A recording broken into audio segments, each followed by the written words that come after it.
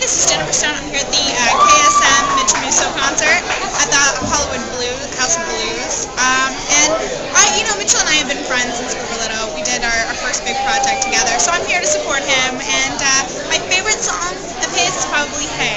I just love it. I mean, I know it's his big single, but it's, it's so catchy. It's such a good song. So I'm just excited to see him perform it.